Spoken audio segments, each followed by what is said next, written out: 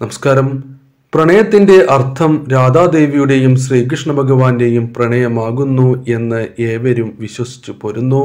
അവരുടെ പ്രണയവും അവർക്കിടയിൽ നിലനിന്നിരുന്ന ഭക്തിയും ബഹുമാനവും അനശ്വരമാകുന്നു. എന്നാൽ വിശ്വാസങ്ങൾ അനുസരിച്ച് രാധാദേവിയെ എന്തുകൊണ്ട് ഭഗവാൻ ശ്രീകൃഷ്ണൻ വിവാഹം ചെയ്തില്ല എന്ന് ചിന്തിക്കുമ്പോൾ ഉത്തരം വളരെ ലളിതമാകുന്നു. രാധാദേവിയും ശ്രീകൃഷ്ണ ഭഗവാനും ഒന്ന് തന്നെയാകുന്നു. തന്റെ ആത്മാവിനെ എങ്ങനെ ഒരു വ്യക്തി വിവാഹം കഴിക്കും എന്ന് ഭഗവാൻ ചോദിക്കുന്നു. എന്നാൽ രാധാദേവിയും ശ്രീകൃഷ്ണ ഭഗവാന്റെ പത്നിയായിരുന്ന രുക്മിണി ദേവിയും തമ്മിൽ ഒരു ബന്ധമുണ്ട് എന്ന് പുരാണങ്ങൾ പരിശോധിക്കുമ്പോൾ വ്യക്തമാകുന്നു. ഇതേക്കുറിച്ചും ഇവർ യഥാർത്ഥത്തിൽ ആരായിരുന്നു എന്നതിനെക്കുറിച്ചും ഈ വീഡിയോയിലൂടെ മനസ്സിലാക്കാം.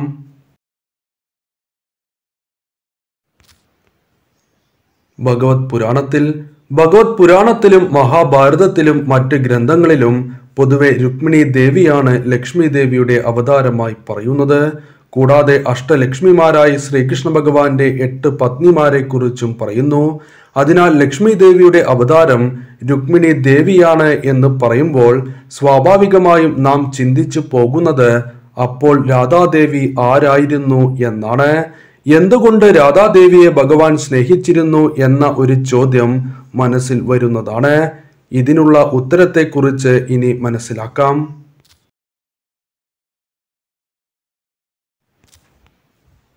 ത്രേതായുഗത്തിൽ ത്രേതായുഗത്തിൽ ശ്രീരാമസ്വാമിയോടൊപ്പം ലക്ഷ്മി ദേവിയുടെ അവതാരമായിരുന്ന സീതാദേവി സദാ കഴിഞ്ഞിരുന്നു. എന്നാൽ ത്രേതായുഗത്തിൽ ഒരു സമയം കഴിഞ്ഞപ്പോൾ സീതാദേവി ശ്രീരാമസ്വാമിയുമായി പിരിഞ്ഞ് കഴിയേണ്ടി വരുന്നതാണ്. ഈ സമയം രാജസൂയയാഗം ശ്രീരാമസ്വാമി നടത്തിയപ്പോൾ ആ യാഗത്തിന്റെ പൂർണഫലം ലഭിക്കുവാൻ വേണ്ടി വിവാഹിതനായ ശ്രീരാമസ്വാമിയും സീതാദേവിയും അവിടെ ഉണ്ടാകണം എന്നായിരുന്നു. എന്നാൽ ആ സമയം അവർ പിരിഞ്ഞ് ജീവിച്ചിരുന്നതിനാൽ ഒരു സ്വർണ വിഗ്രഹം സീതാദേവിയുടെ രൂപത്തിൽ പണി കഴിപ്പിക്കുകയും യാഗം പൂർത്തിയാക്കുകയും ചെയ്തു.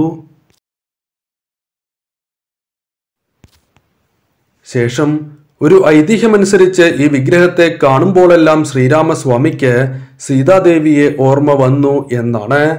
അതിനാൽ ഭഗവാൻ ഈ വിഗ്രഹത്തെ സരയു നദിയിൽ ഒഴുക്കുവാൻ തീരുമാനിച്ചു. സരയു നദിയിൽ ഈ വിഗ്രഹം ഒഴുക്കുവാൻ പോയപ്പോൾ ഈ വിഗ്രഹം ഭഗവാനോട് ചോദിച്ചു ഭഗവാനെ ഞാൻ ഈ രൂപത്തിലെങ്കിലും അങ്ങയോടൊപ്പം അടുത്തുണ്ടായിക്കോട്ടെ എന്ന്. എന്നാൽ ഭഗവാൻ ചിരിച്ചുകൊണ്ട് പറഞ്ഞു വിഷമിക്കേണ്ടതില്ല. അടുത്ത ജന്മത്തിൽ നാം ഈ വിരഹം അനുഭവിക്കില്ല എന്നും എന്നും എന്റെ ഒപ്പം ഉണ്ടാകും എന്നും പറഞ്ഞു. ആ വിഗ്രഹത്തിന്റെ രൂപത്തിൽ ഭഗവാന്റെ ഒപ്പം ഉണ്ടായിരുന്ന സീതാദേവിയാണ് രാധയായി പുനർജനിച്ചത് എന്നാണ് വിശ്വാസം.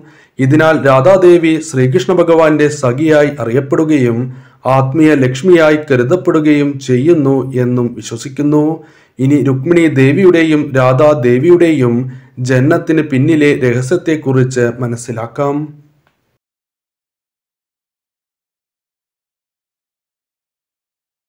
രുക്മിണി ദേവിയുടെ ജനനം. മഹാഭാരതത്തിൽ വിദുർ രാജ്യത്തെ രാജാവായിരുന്ന ഭീഷ്മക രാജാവിന്റെ മകളായി ജനിച്ചു എന്ന് പറയുന്നു. ഒരു സാധാരണ മനുഷ്യ ജന്മമായി രുക്മിണി ദേവി ജനിച്ചു. എന്നാൽ ശ്രീകൃഷ്ണ ഭഗവാൻ വധിച്ച ജരാസന്ധ രാജാവിന്റെ മിത്രമായിരുന്നു രുക്മിണി ദേവിയുടെ സഹോദരനായ രുക്മി. ചെറുപ്പം മുതൽ ശ്രീകൃഷ്ണ ഭഗവാനെ മനസ്സിൽ കൊണ്ട് നടന്നിരുന്ന രുക്മിണി ദേവിയും ശ്രീകൃഷ്ണ ഭഗവാനുമായുള്ള വിവാഹത്തിന് രുക്മിക്ക് എതിർപ്പായിരുന്നു. അതിനാൽ തന്റെ കുടുംബാംഗങ്ങളുടെ സമ്മതം ഇല്ലാതെയാണ് രുക്മിണി ദേവിയുടെ വിവാഹം ശ്രീകൃഷ്ണ ഭഗവാനുമായി നടന്നത്.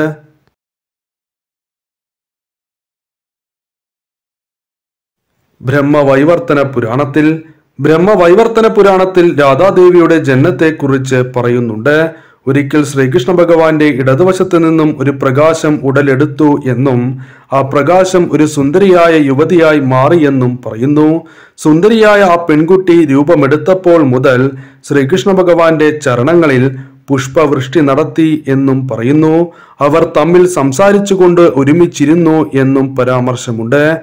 ഈ സുന്ദരിയായ പെൺകുട്ടിയാണ് രാധാദേവിയെന്നും അതിനാൽ ഐതിഹ്യമുണ്ട്.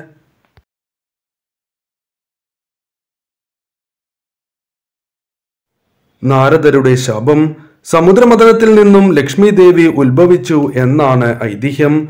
അതീവ സുന്ദരിയായിരുന്ന ലക്ഷ്മി ദേവിയെ ഏവരും സ്വന്തമാക്കുവാൻ ആഗ്രഹിച്ചു.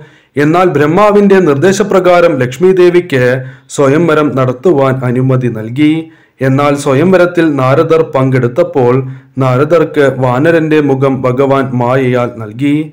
സ്വയംവരത്തിൽ വിഷ്ണു ഭഗവാനെ തെരഞ്ഞെടുത്ത ലക്ഷ്മി ദേവി ഭഗവാന്റെ അർദ്ധാഗിനിയായി എന്നാൽ സ്വയംവരത്തിന് ശേഷമാണ് വിഷ്ണു ഭഗവാൻ തനിക്ക് വാനരന്റെ മുഖം നൽകിയിരുന്നു എന്ന് മനസ്സിലാക്കിയത്.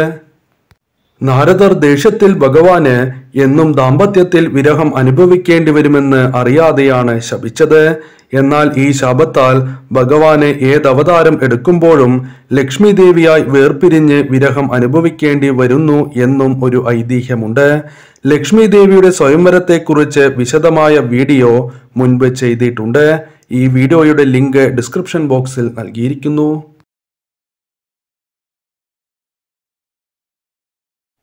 ദുർവാസാവിന്റെ ശപം ഒരിക്കൽ ദുർവാസാവിനെ തന്റെ കൊട്ടാരത്തിലേക്ക് കൂട്ടിക്കൊണ്ടു പോകുവാൻ വേണ്ടി ഭഗവാനും രുക്മിണി ദേവിയും വനത്തിലെത്തി. എന്നാൽ മറ്റൊരു രഥം തയ്യാറാക്കിയാൽ മാത്രമേ താൻ വരൂ എന്ന് ദുർവാസാവ് പറഞ്ഞു. ഇതേ തുടർന്ന് തന്റെ കുതിരകളെ ഭഗവാൻ അഴിച്ചുവിട്ടു. ശേഷം ദുർവാസാവ് രഥത്തിൽ കയറുകയും രുക്മിണി ദേവിയും ഭഗവാനും കൂടി രഥം വലിക്കുവാൻ ആരംഭിച്ചു. അല്പം കഴിഞ്ഞപ്പോൾ രുക്മിണി ദേവിക്ക് ദാഹിച്ചു. ഭഗവാൻ അപ്പോൾ അവിടെ ഭൂമിയിൽ നിന്നും ജലം വരുത്തുകയും ഇരുവരും ജലം കുടിക്കുകയും ചെയ്തു. എന്നാൽ ഈ സമയം ദുർവാസാവിന് ജലം നൽകാതെ ഇരുന്നതിനാൽ ദുർവാസാവ് ഭഗവാനും ദേവിയെയും പന്ത്രണ്ട് വർഷത്തോളം പിരിഞ്ഞ് താമസിക്കേണ്ടി വരും എന്ന് ശപിച്ചു. ഇതിനാൽ ഇരുവരും പിരിഞ്ഞ് താമസിക്കേണ്ടി വന്നു എന്നും ഐതിഹ്യമുണ്ട്. ശ്രീകൃഷ്ണ ഭഗവാന്റെയും രുക്മിണി ദേവിയുടെയും വിവാഹം നടന്ന സ്ഥലത്തെക്കുറിച്ച് മുൻപ് വിശദമായ വീഡിയോ ചെയ്തിട്ടുണ്ട്. ഈ വീഡിയോയുടെ ലിങ്ക് ഡിസ്ക്രിപ്ഷൻ ബോക്സിൽ നൽകിയിരിക്കുന്നു.